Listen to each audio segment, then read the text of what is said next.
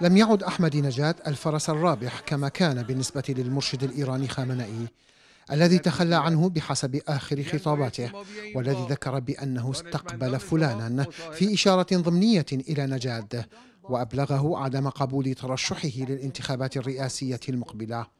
وذكر خامنئي أن ترشيح أحمد نجاد يخلق حالة من الخلافات والانقسام ولا يصب في مصلحة إيران وسيؤدي إلى استقطاب مضار أكثر على البلاد حسب وصفه. خامنەی داوای لە ئەحمەدی نەژات کردووە کە بەشداری نەکات لە دەسەڵات یەکێک إن عدم رغبة خامنئي في ترشح أحمد نجاد للانتخابات يعود بالدرجة الأولى إلى أن نجاد قد خذل المرشد الذي وقف إلى جانبه سابقا. وأن نجاد قد أضر كثيرا بالبلاد وصعد المواقف مع الدول العظمى فيما يخص الملف النووي وفشل في المفاوضات.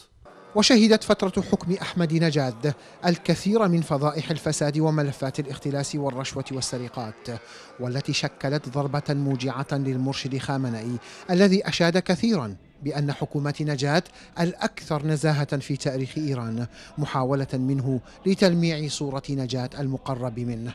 والذي حظي الأخير بتأييد المرشد لنتائج انتخابات الرئاسة عام 2009 والتي أعقبتها اندلاع الانتفاضة الخضراء ضد نتائجها والتي جوبهت بقتل المتظاهرين من أتباع مهدي كروبي وموسوي القابعين تحت الإقامة الجبرية ليومنا الحالي.